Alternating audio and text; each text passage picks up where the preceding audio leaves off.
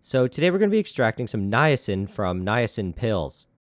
Niacin is also known as vitamin B3, and the reason that we want it is because we can carry out a reaction known as a decarboxylation and convert it to something called pyridine. Pyridine is a useful solvent and catalyst in organic chemistry, and I'm going to be using it to synthesize a few things in the future.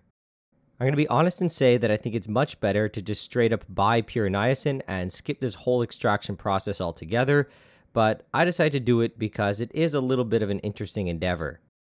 Most of the other times that I've extracted things from pills like acetylsalicylic acid or caffeine, I just use an organic solvent to dissolve it out and then I evaporate it off the solvent. I actually did try to extract niacin using various solvents, but it didn't seem to work very well, and I found that the best method was just using a pseudo acid base extraction. I say pseudo acid base extraction because true acid base extractions require the use of some form of organic solvent, but I want to be a little bit more environmentally friendly, so I avoided solvents in this extraction. I think that my yield suffered a little bit because I avoided using solvents, but honestly, I'm okay with that. For this extraction, I used 100 pills containing 500 milligrams of niacin each, 60 grams of sodium hydroxide, and about 100 milliliters of 31.45% hydrochloric acid. The first thing to do is powderize the pills, and to do this, I poured them all into a coffee grinder. Using a coffee grinder is a very easy and efficient way to powderize pills, but you honestly have to be a little bit careful. The powder that it makes is extremely fine and disperses in the air very easily, and it's very easy to breathe this in. When powderizing pills, and especially when using a coffee grinder, I strongly suggest wearing a mask to protect your lungs. After powderizing the pills, I move on to making a sodium hydroxide solution by dissolving about 60 grams of sodium hydroxide in about 600 milliliters of distilled water. Once all the sodium hydroxide had dissolved, I directly pour in all of the niacin pill powder. Using a glass rod, I just mix things up and I continue to stir things with the magnetic stirrer for several minutes. Niacin, which is also known as nicotinic acid, is not very soluble in water. What we're trying to do here is react it with the sodium hydroxide to form its sodium salt form, which is much more soluble in water. We stir it for several minutes to try to get everything to react, but even then, there's still going to be a lot of stuff that's undissolved. The majority of the mass of the pills are insoluble filler, and what we're going to have to do next is filter this off.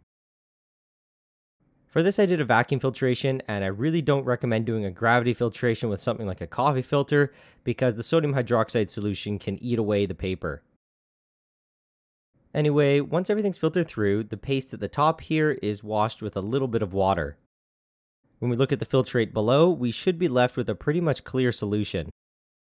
The solution that we filtered through should contain our sodium salt of our niacin, and I pour this back into a 1 liter beaker. I test the pH of the solution and verify that it's strongly basic, and our goal in the next step is to acidify it to a pH of around 5.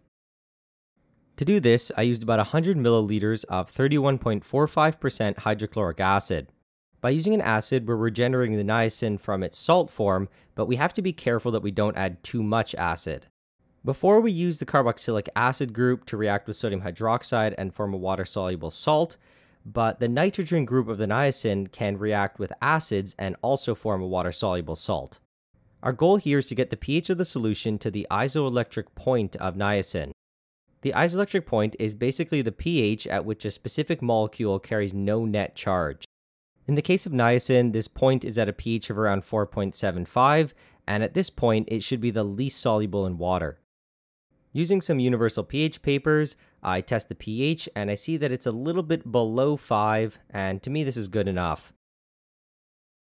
So just for good measure, I let things stir for something like 20 minutes and then I move on to filtering. I move on to vacuum filtering it, and this time I use a Buchner funnel with a paper filter because for some reason my glass fritted filter was having a hard time. Also, this time we're not working with a strongly basic or a strongly acidic solution, so we don't really have to worry about the paper being shredded apart. Anyway, everything's filtered through and I wash things with a little bit of water and then what's left we transfer to a crystallizing dish. As I transferred things to the crystallizing dish, it became evident why things were a little bit hard to filter, and this is because the niacin was acting a little bit like a non-Newtonian fluid. So just like cornstarch and water, if I let it sit there it would liquefy, but if I moved it, it would clump up and become hard. I was honestly a little bit surprised to find out it had this property, and it was a little bit annoying because I couldn't fully dry it using vacuum filtration. Anyway, I just left it out in open air and it very quickly dried up to become a nice powder. The final yield of niacin was around 55 grams, and this is not even close to a super good yield. I've actually carried out this experiment a few times, and I find that the yield varies between 50 and 70%, but it never really gets better than that. I think the yield would be increased if I had a more accurate way to measure the pH, and also instead of just filtering off the niacin, if I actually did a proper liquid liquid extraction. Niacin isn't super soluble in water, but in about 700 milliliters, I'm honestly probably losing something like 10 to 15 grams of niacin, and I could probably recover this if I extracted it with an organic solvent. Anyway, in the end, I thought it was an interesting way to extract things, but I still highly recommend just flat out buying niacin and skipping the whole extraction process. Again, I'd like to extend a big thanks to all of my supporters on Patreon, and especially those of you who donate $5 or more. I try to include the names of everyone who donated $5 or more, but if I've missed your name, let me know. And also, some people donate $5 or more, but they don't opt in for the rewards. For those of you who did this, I wasn't really sure if you wanted your name there, so I didn't include you, but if you actually do, just let me know and I'll add you on the next one. Also, I had a goal on Patreon for a while of $250, and apparently that's been reached, so I might have to be your slave for something like the next six months. So that's it for now. The next video that I'm going to upload is going to be about the fluorescent dye eosin, and I am eventually going to get to making the acetone from calcium acetate and all of the other things I've been promising to do forever.